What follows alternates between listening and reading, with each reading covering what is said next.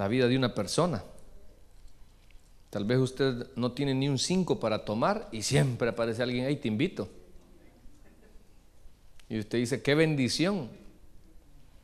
Proverbios capítulo 10, versículo 22.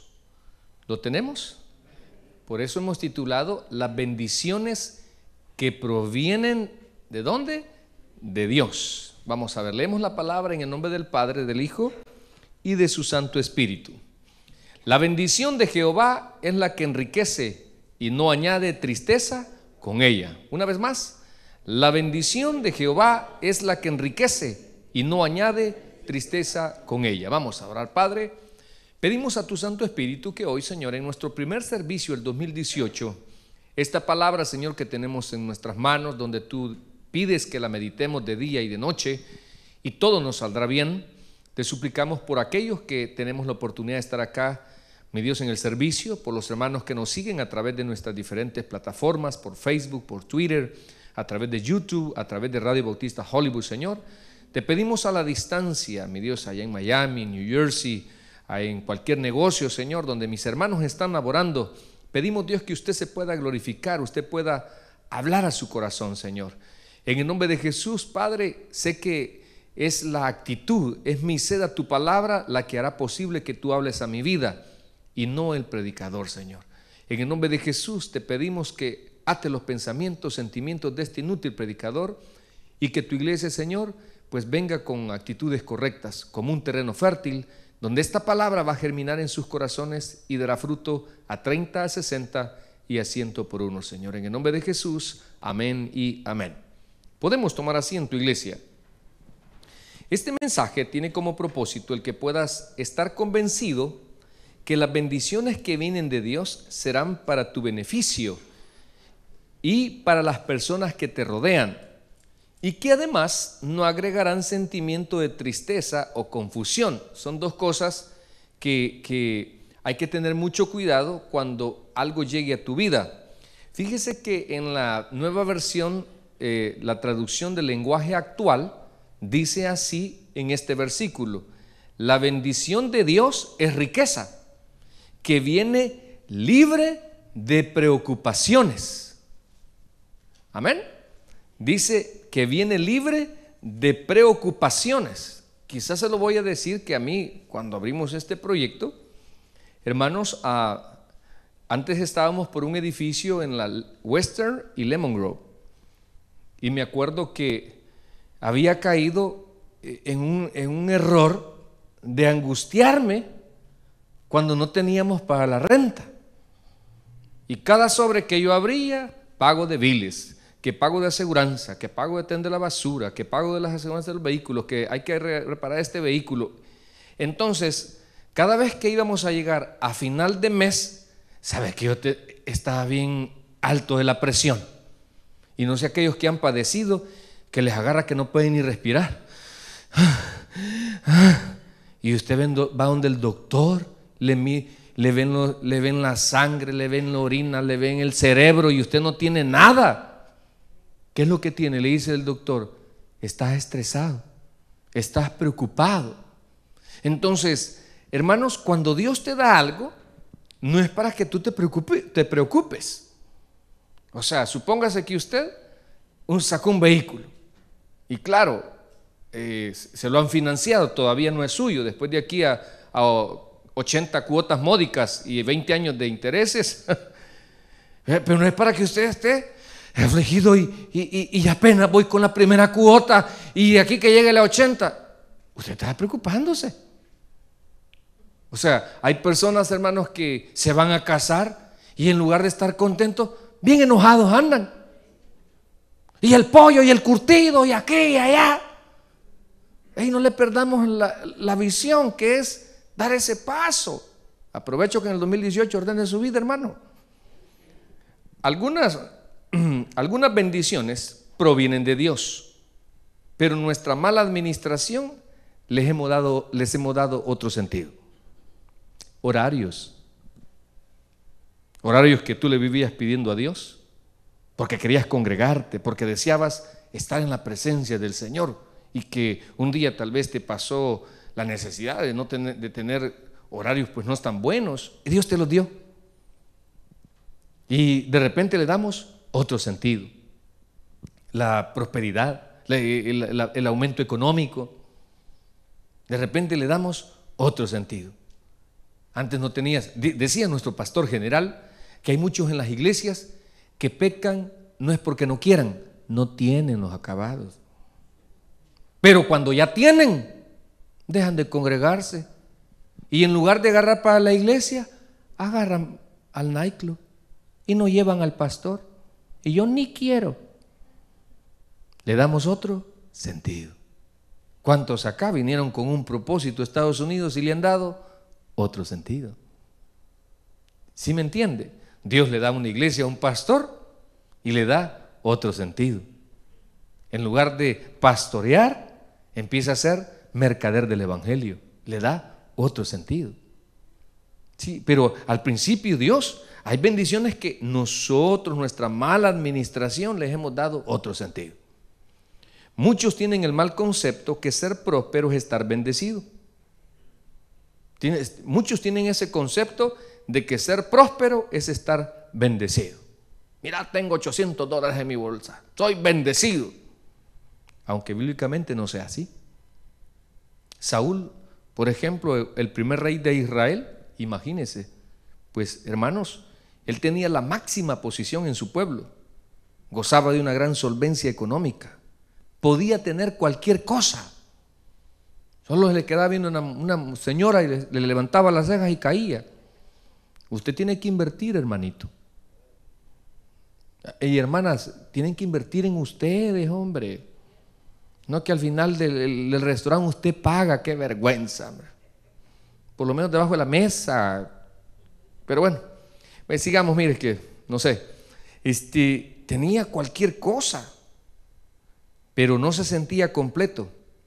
Era un hombre inseguro, era un hombre que no tenía paz. Y ella andaba siempre, recuerda usted que eh, contrató a David para que le cantara, para que le tocara, y él se calmaba. Ya ve cómo entonces, hermano, la prosperidad no lo vas a tener todo. Hay otro caso del rico y Lázaro. El rico era un hombre que no necesitaba nada material en esta tierra. Lo tenía todo.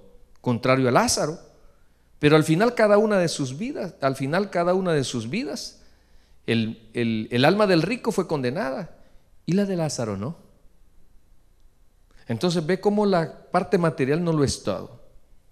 Yo quería compartir algunas diferencias, hermanos, entre la prosperidad y la bendición, porque eh, lastimosamente pues se metió el, en el Evangelio puro una famosa teología de la prosperidad donde se decía equivocadamente o se dice porque todavía hay todavía vestigios de eso, hay personas que promueven o promulgan eso, hermanos, donde usted tenía que poner bastante para que Dios lo bendijera. Y veo algunos videos en las redes sociales donde charlatanes empiezan eh, a, a decirle a la gente, vengan y pacte con Dios. Pacte, y esa palabra pacte con Dios, a mí no mucho me gusta. Bueno, como que Dios está obligado en hacer algo nosotros. Mejor roguémosle a Dios, hombre. Y de repente empiezan, vaya, levántense todos aquellos que una ofrenda de 100 dólares. Y sabe que al que pone grandes ofrendas, mira cómo le profetiza. Tus hijos van a ser bendecidos, veo en ti grandes propiedades. Y al que pone 10 dólares, vaya, pase, apure, pase, pase, que hay fila todavía. Charlatanes del Evangelio. Por eso, hermanos, yo quisiera hablar de algunas diferencias entre la prosperidad y la bendición. Próspero es alguien que tiene algo en abundancia. La prosperidad puede ser material, por ejemplo. Tienen dinero, tienen casas, tienen vehículos y pagados porque otros tienen pero todavía lo deben. Amén. Entonces, eh, pero bendecido es aquel que siempre se siente estar completo en Dios. Ese es el bendecido, el que se siente estar completo en Dios. Ejemplo, pastor, pues yo me acuerdo de, de Job, hermano. que Job su, su felicidad no dependía de lo que tenía. En cambio su mujercita sí. Su mujercita estaba acostumbrada a vivir de glamour, de placeres, y un día lo perdieron todo. Y la mujer tan molesta le dijo, maldice ese tu Dios y muérete. No le dijo, murámonos. Mi no nos incluyó. La interesada se iba a conseguir otra. Fea esa. Y mire, pero le respondió Job, desnudo, no, comience diciendo, solo en lo bueno he de alabar a Dios. Jehová dio, Jehová quitó, sea por siempre el nombre de Jehová bendito, le dijo. Gloria a Dios. Y imagínense, y al final, hermano, que yo espero, no lo dice la historia en el capítulo 42, porque después de todo lo que Dios le quitó y todo lo que la enfermedad que le vino, dice la escritura que Dios lo bendijo al doble de lo que tenía. Al doble. Y dice que tuvo unas hijas tan bellas que eran las más bonitas de toda la tierra. Hubiera sido nuestro suegro joven. Imagínese. Pero no dependía de eso. Si no, no dependía. La prosperidad, la prosperidad, hermano, no cualquiera es capaz de manejarla. No cualquiera, no sé si ustedes, usted se va a volver loquito, hombre. Aparte que ya lo es. La prosperidad, no cualquiera es capaz de manejarla. Ejemplo, personas que heredan grandes fortunas y se las terminan en corto plazo. Así se acaban las cosas. Así, lo que tanto esfuerzo le dejan sus padres para que queden un poco mejor, lo malgastan, lo maladministran. Padres que han muerto y les han dejado negocios a los hijos, se los han terminado. Padres que les dejan una herencia, ligerito la venden y la desaparecen. Dinero, hermano, ligerito se lo desaparecen. ¿Por qué? Porque eh, eh, no cualquiera puede, eh, sabe manejar la prosperidad. Algunos en su vida, algunos su vida gira en base a la prosperidad. Y solo viven para eso. Se convierten en afanosos o avaros. Solo viven para eso. Hermano, en la vida debe de existir un balance. Por eso dijo Jesús, no solo de pan vivirá el hombre. El problema es que hemos caído en una sociedad o estamos viviendo en un siglo XXI bien difícil, hermano. Y pues, por ejemplo, nosotros estamos en una ciudad bastante cara, donde la renta está por las nubes. Todo está por las nubes. Y tenemos que hacer doble esfuerzo, triple esfuerzo, dos trabajos, eh, buscar eh, tantas cosas. Pero por favor, haga espacio también para Dios. Porque al final se va a dar cuenta, ya vamos a llegar ahí, de grandes dos hombres prósperos que que entendieron la esencia de la vida. Pero muchos hermanos se, convierten en afanosos, o sea, viven, su vida está basada eh, eh, eh, en, hacer algo material. Cuando Jesús, y fíjese cómo dijo Jesús, hacer tesoros en el reino de los cielos. Y un día usted lo, no sé, pero un día usted tiene que pasar, si Cristo no ha venido, por la muerte. Y cuando usted se muere no se lleva nada. Pastor, si yo no tengo nada, pero aunque lo par de vestidos que deje, se los van a pelear. Aunque usted no lo crea, hermano. Entonces, algunos, créame lo que su vida vive en base, eh, en base a la prosperidad. Algunos la prosperidad o una vida solvente los mantiene alejados o viviendo un cristianismo regular. La prosperidad los mantiene la, vida solvente, los mantiene alejados de Dios, pues si no tienen necesidad. Porque aquí vemos muchos que necesitamos una liberación de deuda. Aquí vemos muchos que necesitamos una sanidad del buen maestro que es Jesucristo. Aquí tenemos muchos vacíos, muchos problemas, hermano, que pero pero insisto, el solvente, el que tiene una vida próspera, pues no, no, no, no, no siente esa necesidad. Y otros que medio están bien y que son cristianos, viven un cristianismo regular. No, este, que yo no digo que sea malo, pero, pero no les veo esa necesidad espiritual. Como que creen que le vienen a hacer un favor a Dios cuando se congregan. O sea, como que, que no sé, a ver, a poner mi ofrendita porque no va a ser que el pastor no coma. No, no se preocupe. Que aunque sea sacate, voy a comer. Y ahí va a estar la bendición de Dios. O sea, pero, pero creemos, estamos tan equivocados. Fíjese que una persona bendecida vive a base de fe y no de sus posesiones. Una, una persona bendecida vive a base de fe. Y una de las personas que yo considero que, que, fue, que fue bien bendecida, hermanos, en esta tierra, para mí, fue el rey David.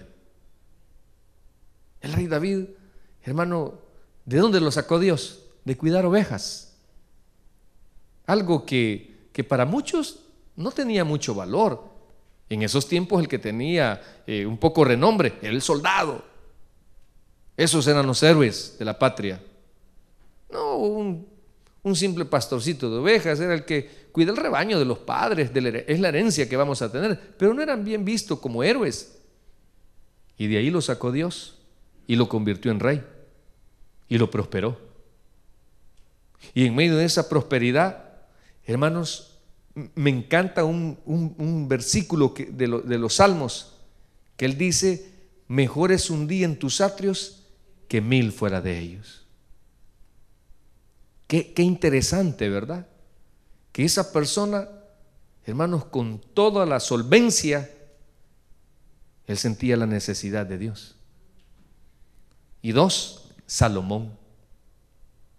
Salomón, hermanos, en el libro de Eclesiastés me encanta que dice, Subí al cielo y volví a ver a la tierra y vi que todo en ella era vanidad de vanidades. El rey más próspero, bendecido, rico que ha tenido Israel fue Salomón. Hermana, si usted se hubiese casado con él, lo hubiera hecho. Pero por quedarse con ese tiene que trabajar hasta el doble. Qué increíble. Pero él llegó a esa, a esa conclusión y dijo, todo en la tierra es vanidad de vanidades. Todo es vanidad. O sea que llega un momento, hermano, donde usted reconoce que todo lo que usted haga, disfrute y tenga, llegará un momento que tiene que dejarlo en esta tierra. Todo, todo se queda. Todo. Entonces mire, el, el versículo dice, la bendición de Jehová es la que enriquece y no añade tristeza a ello. O sea, por eso digo yo, lo que usted tiene es bendición. O sea, ¿usted le llama bendición a eso? O sea, le, da el convencimiento al Señor. Porque a lo que Dios da, no tiene que dar tristeza. Amén. No tiene que dar tristeza. Hermana, yo que la veo con cara de afligida Ay, sí, fíjate que adquirí una deudita y Dios ya me confirmó que me va a sacar adelante, pero estoy afligida. Bueno, ¿cómo es eso, pues? Yo estaba dándole consejería a un consiervo mío. Me estaba diciendo este, que Dios le había dicho que, no me acuerdo por qué. Pero le digo, bueno, bueno, si ya te lo dijo Dios, entonces pues, ¿cuál es el problema? ¿Cuál es la aflicción? Dios ah, ok, tenía un problema que parece que se quería mover de iglesia. me dijo, Dios ya me confirmó, ya me dijo y todo. Pero la mujer no se quiere ir conmigo. Me. Bueno, ¿cómo es eso? Le digo. Porque Dios es un Dios de orden. O la hace entender o realmente no le dijo que te movas. Pero, pero la bendición de Jehová no añade tristeza a ellos. No añade tristeza a ello. No añade, tristeza. En mi vida, quizás, hermano, la iglesia anterior la pastoreé 13 años. Dejamos una inversión de casi 100 mil dólares en ella. Y no me quedé, ay, 13 años van a quedar ahí, el otro gavilán lo va a disfrutar. No. No, hermano, porque cuando uno le trabaja para Dios no anda viendo lo que deja. No, para nada. Sí extraño unos par de diáconos en la iglesia anterior buenos. ¿Para qué le voy a mentir? Un par de buenos amigos ahí. Pero, pero, pero Claro, es un proceso donde Dios va confirmando, pero Dios no añade tristeza cuando usted deja algo. Sí, Dios no añade tristeza. O por ejemplo, yo he conocido personas acá que transpiran que tienen un corazón dividido. O sea, por la necesidad están en Estados Unidos, pero su corazón allá está en el Majagual. Y no crea que bañándose, chupando estos vagos. Chiste para bolos. Eh, ¿Qué tiene que hacer Dios? Ordenar tu corazón. Y que tengas, eh, que sintas esto que dice y no añade tristeza a ello. Hermana, y se va a casar por la gracia de Dios. No, creo que debe ser lo más dichoso, dichosa. Entiendo yo, pues que es una bendición. O sea, si usted tiene una pareja, usted tiene que sentirse bendecido o no. Me siento bendecido.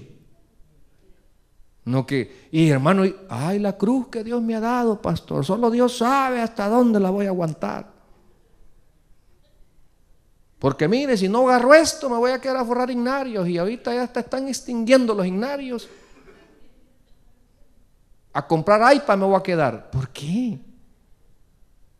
La bendición de Jehová no, no añade tristeza, dice. Entonces veamos, las bendiciones que vienen de Dios, número uno, son para mejorar tu nivel de vida. En primer lugar, las bendiciones de Dios son para mejorar tu nivel de vida.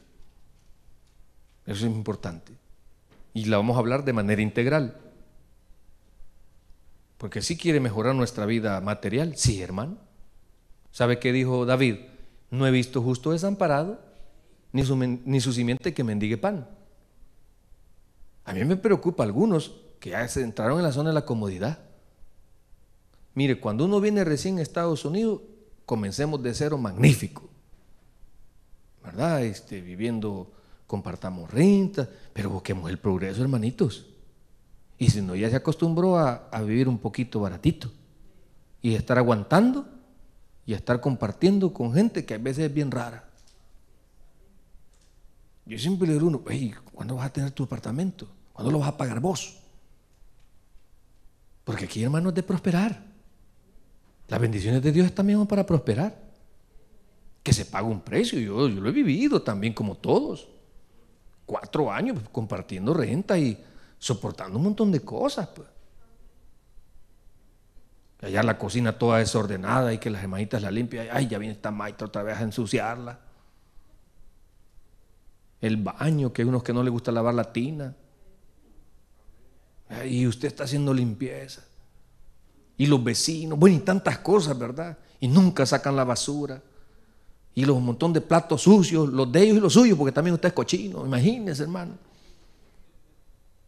Y yo le digo, y, así te vas a acostumbrar. O sea, ya, ¿y cuántos años tenés de vivir aquí?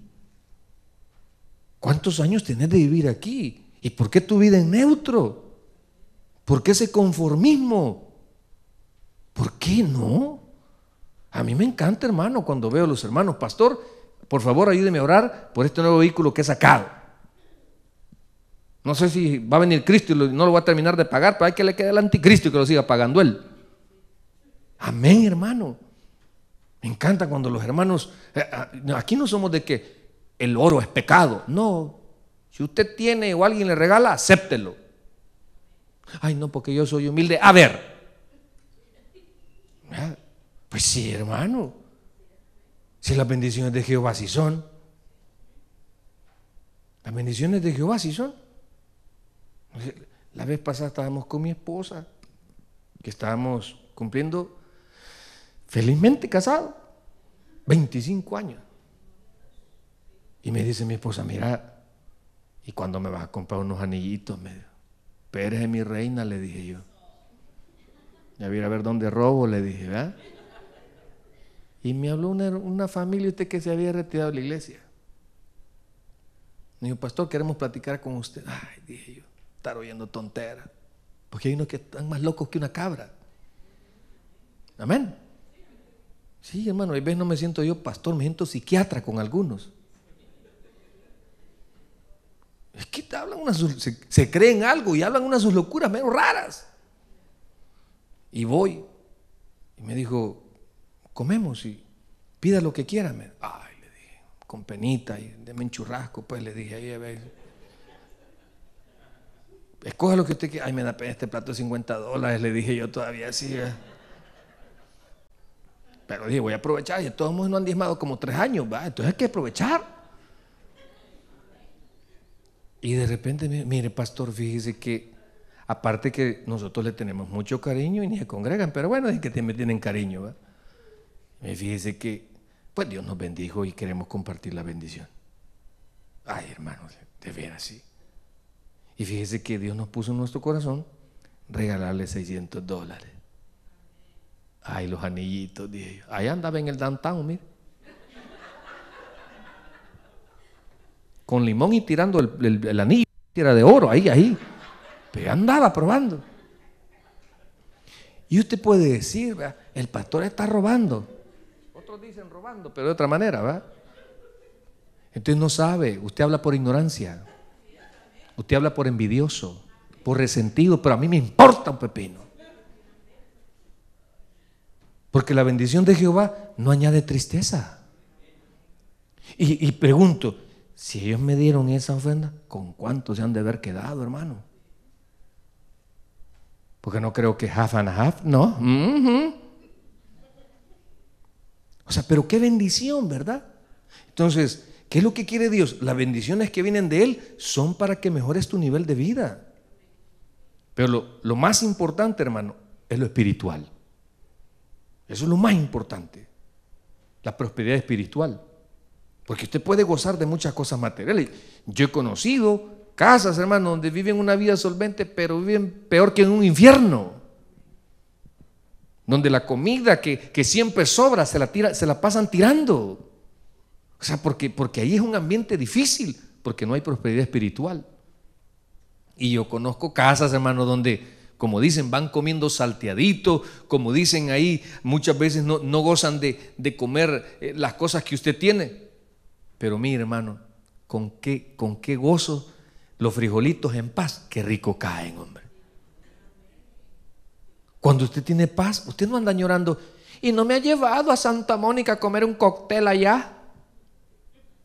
Cuando usted tiene paz, si usted desea estar en su hogar, o sea, cuando usted tiene paz. Por eso la espiritualidad es más importante que Dios le dé amor, le dé gozo, le dé paz, le dé paciencia. ¿Cuántos de acá son prósperos en amor? Deme un amén las hermanas. No se preocupe, mi rey, entre. No se preocupe, una canita cualquiera se le va. Vuélvalo a hacer y lo mato, pero pase adelante. Aleluya, hermanas.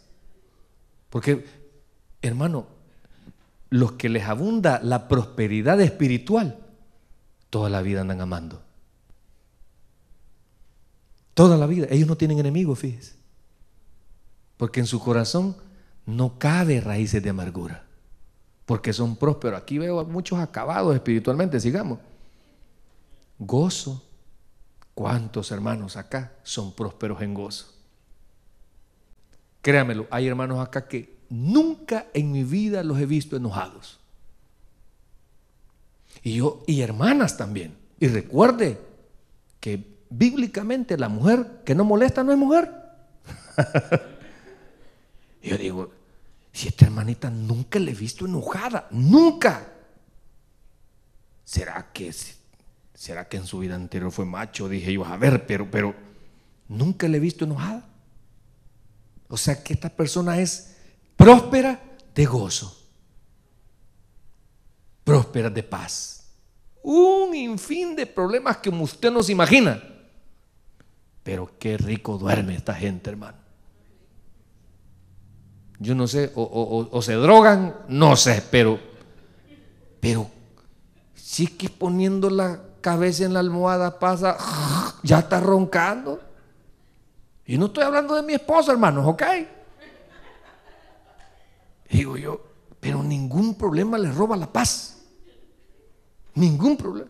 Y yo le dije, el día que usted se quede en el sillón con el control y dormido, usted siéntase bendecido. O viejo, pero algo tiene que sentirse. Hermano, el, el próspero espiritual goza de una gran paciencia. El próspero espiritual goza de paciencia.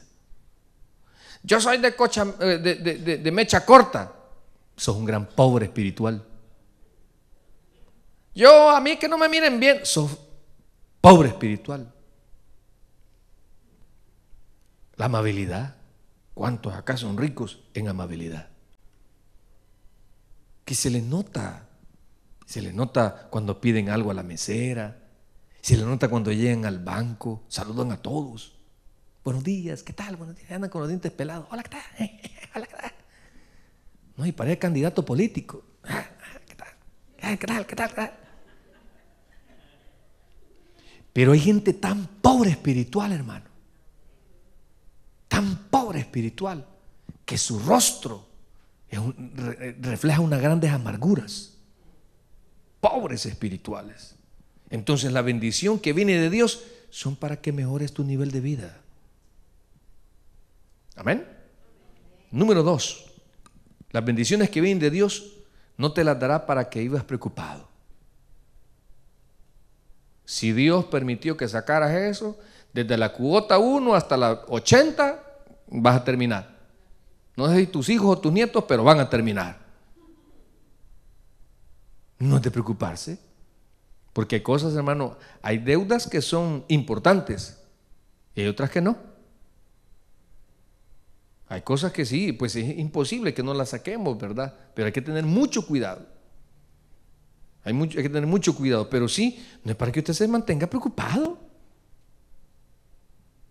Yo, yo, yo, hermanos, en lo personal le digo en la iglesia, porque con honor a la verdad, muchos no tienen la responsabilidad como debería de ser para darle al Señor.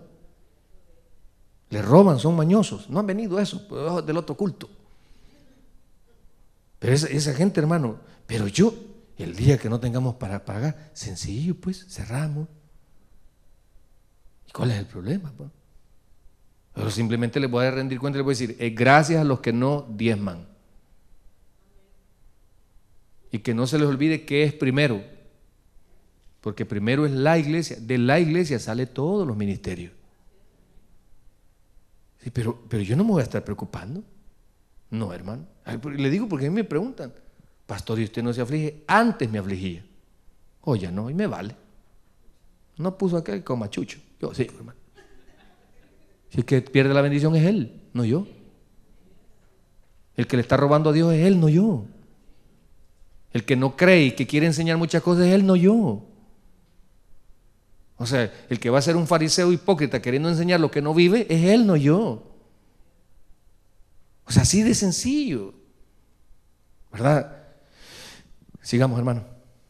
Mire, las bendiciones que vienen de Dios son para disfrutarlas, pero no son la razón de vivir. Las bendiciones que vienen de Dios son para disfrutarlas. Sabe que en ocasiones no nos alcanza para disfrutar en su totalidad las cosas que Dios nos ha dado. No, no, nos alcanza el tiempo porque estamos ocupados en el Señor. Hay algunos acá que, póngale un ejemplo, Dios los ha bendecido con solvencia económica que hasta pueden pagar eh, cable, servicio de cable en su casa. Y tiene 1500 canales. Y solo el 34, el 52 ven. Solo noticias porque no, no tienen tiempo para otra cosa. Ay, en la madrugada cuando juega el Barcelona que gana, pero, pero imagínense, están bendecidos. O sea, y dice, y tengo tanto, y no me alcanza, no, tengo tiempo. Hay canales, hermano, donde usted le da las mejores películas, los estrenos, y no le queda tiempo para verlo. Porque dice, ay, es que tengo servicio, ay, es que tengo esto, ay. Esas son las bendiciones. O sea, cosas, mire, pastor, fíjese que este mi vehículo a mí, que no me falla. Ya mejor la señora se me enferma, mire, y este carro nunca lo he llevado al mecánico. O sea, hermanos, son cosas, ahora, pero no son la razón de vivir. O sea, la razón de vivir debe de ser Cristo. Número cuatro, las bendiciones que vienen de Dios son para compartir y bendecir a personas correctas. Póngale cuidado a eso. Las bendiciones que vienen de Dios son para compartir y bendecir a personas correctas. No sé aquellos que tal vez ya fuimos a la universidad o incluso en el colegio se nos enseña, en el seminario, que cuando nosotros nos graduamos tenemos que hacer horas sociales o un año social para devolverle a la sociedad lo mucho que nos va a dar ellos. Y vamos a hacer 100 horas a un lugar porque es algo que le estamos devolviendo a la sociedad gratis, hermano. ¿Por qué? Porque estamos agradecidos que nos dieron la oportunidad de prepararnos. Entonces, el principio de compartir o devolver algo de lo mucho que has recibido. Nunca olvides a aquellos que siempre te han apoyado. Algunos ven siempre tu potencial, aunque en apariencia no poseas nada. Y cuando ya tienes, no se te olvide. Por ejemplo, yo siempre digo que parte de lo que ahora somos es gracias a, nuestro, a Dios y a nuestros papás, hermanos. Que un día, o al que se sacrificó por usted, pues. Y que de alguna manera yo siento incorrecto que no le ayude.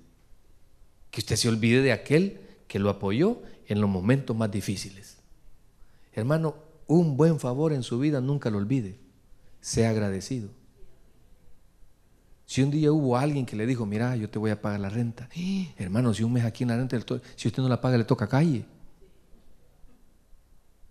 Que alguien le abra las puertas, que alguien le, pague algo, usted debe estar agradecido, hombre. Hermano, por favor, fíjese que nuestra iglesia yo siempre le pido a Dios que me libre de cualquier prejuicio, porque nosotros, nuestra iglesia, debemos de ayudar sin interés y sin fijarnos en nadie. Pero no, ustedes, porque a gracias pastor, no, a mí no me dé la gracia, es gracias a la iglesia de Cristo.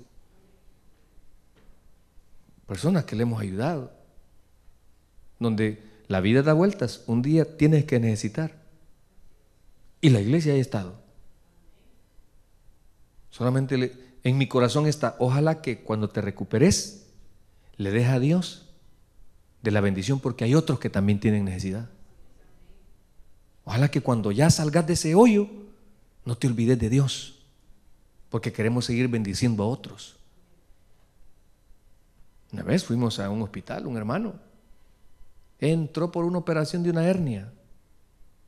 Y ahí lo dejaron, hermano, porque tenía un problema de cáncer en la sangre leucemia. ¿Y sabe cuáles fueron las palabras de él? Pastor, ¿le puedo pedir un favor? Si yo no salgo de este hospital y me muero, por favor, mándeme a mi país. ¿Me lo promete? Se lo prometo. Ahí les transmití yo a la iglesia, miren hermanos, nuestro hermano fulano está ahí. ¿De qué fue la iglesia para él? De bendición. De bendición. Entonces, por favor, hermanos, las bendiciones son para compartir a personas correctas. Pero supóngase que usted, ¿qué? Anda tomando y se, toma todo lo de la renta. Pero yo conozco al pastor que es buena gente, que no coma chucho. Porque, porque usted es el responsable. Usted teniendo trabajo, no administra bien, y todavía van a andar buscando. No, hermano, si cuesta ganar el dinero. Bueno, sigamos pues. Las bendiciones que vienen de Dios, por último, tienen como propósito el que Dios sea glorificado. Salud, dinero, ya no llegó al tercero. Hermanos, las bendiciones de Dios tienen como propósito el que Dios sea glorificado. ¿Cómo es esto, pastor? Pues ya le dije que tenemos un Dios dueño del oro y de la plata. Tenemos un Dios todopoderoso. Entonces, si tú tienes una enfermedad terminal y Dios te sana, no es para que presumas y digas, es que es mi santidad. No, es para que le dé gloria a Dios y que cuentes que tienes un Dios todopoderoso. Que el día que Dios te bendiga con un negocio, que el día que Dios te bendiga con un estatus, que no se te olvide. Bueno, mira, solo mírate en el espejo. Que no se te olvide de dónde vienes. O sea, hermano, por favor, ¿quién lo trajo aquí? Fue Dios. Que no se le olvide. Y, y, quien le abrió, quien lo capacitó, quien le dio gracia, fue Dios. O sea, usted quizás estaba destinado, no sé a qué condición social o económica, y mire dónde está ahora. Y todavía dice, en los United States. Sí, hermano, porque yo conozco gente de dónde lo ha sacado Dios. Pero no es para que usted presuma, es para que usted cuente las maravillas de Dios. Cómo el Señor le abrió el mar, cómo el Señor lo guardó, cómo el Señor le dio gracia. Yo conozco una hermanita por ahí que anda. Mire, sacarle a algún judío, eso es difícil, hermano. Le dijo, oh, me cae bien, te vamos a dar la residencia. No pagó nada. Y todavía vive, le dije, para buscar al judío ese. Nada, hermano, gratis. Se la regaló. Yo te voy a servir de sponsor, yo te voy a dar todo el dinero aquí y allá. Me dan ganas a mí de hacer la... ¿Entiende la cabuda? ¿Qué es eso, la cabuda? Pero no, eh, me, acuerdo que también usted está igual que yo. Pues digamos, mire, hermano, tiene como propósito el que Dios sea glorificado. Mire qué diferentes son las bendiciones de Dios. Mire qué diferentes son las bendiciones de Dios. Por eso le dije las bendiciones que provienen de Dios. Dios quiere bendecir su vida. Dios quiere que usted cambie su estilo de vida. Claro que sí. Pero que tiene que... ¿Cuál es la clave? estar en el centro de la voluntad de Él. Ahí está la clave. Y tener un propósito de agradarlo siempre y tener un propósito de obedecerle siempre, porque los planes de Él siempre serán mejores que los nuestros. Démosle un aplauso al Señor, vamos a orar. Señor, gracias le damos por su palabra, mi Dios, por habernos ministrado. Queremos pedirle, como siempre lo hemos dicho, lo que viene de usted, Espíritu Santo, nos guste o no, sintamos agradabilidad o no, nos sintamos confrontados, nos sintamos, nos sintamos descubiertos o no, pues vino de Dios. Lo que no, Señor, ayúdenos a desecharlo y poder decir, eso no es conmigo. Tener esa solvencia. Pero en el nombre de Jesús, me acuerdo una de las epístolas de Juan decía, hijito, yo deseo que seáis prosperados en todo Señor, te pido por la vida de mis hermanos hoy en el 2018. Padre, queremos bendiciones que vengan de ti. Y las características son que no hay preocupaciones, Señor, en lo que tenemos, en lo que nos das. Por eso aléjanos del afán de querer obtener las cosas. Señor, si esa persona es para mi hermana o mi hermano, no, tiene necesidad, Padre, de llegar hasta ahí, de humillarse de esa manera. Señor, en el nombre de Jesús, si ese trabajo es para mi hermano, ya llenó la aplicación, Señor. No tenemos por qué estar ansiosos. Si viene esa llamada, Señor, sé que viene de usted. Padre, en el nombre de Jesús, quisiéramos que ordenes nuestros sentimientos. Mi Dios, porque lo que viene de ti nos da paz. En el nombre de Jesús, Señor, esperamos que tú hayas ministrado y nos hayas hablado a nuestro corazón. En el nombre de Jesús, gracias. Amén y amén.